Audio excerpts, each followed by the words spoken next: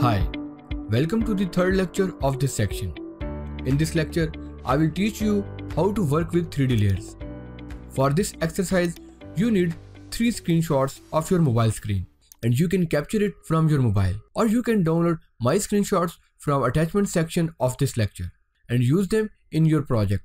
You should have these images in your project folder.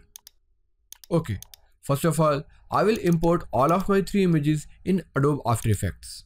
Then we will bring our first image in our composition and trim this layer from here. Now we will reduce the size of this image, almost 30, so we can see it properly in our frame.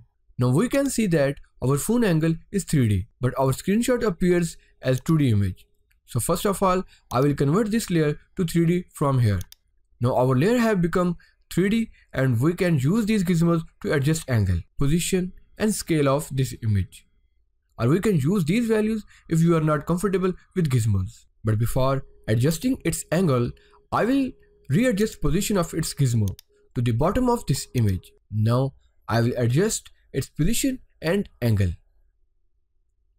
Okay, now you can see when I move my slider that Instagram screenshot stays still. It's not moving with our cell phone, but should move with it. It's very simple. You can see this pick whip tool you just have to click and hold your left mouse button and drag it to your null one layer.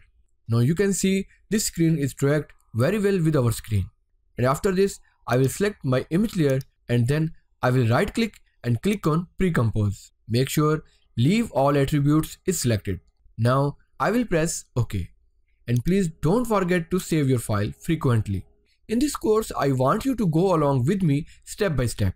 So please complete this step and then proceed to next lecture in which I will show you how to create swipe animation.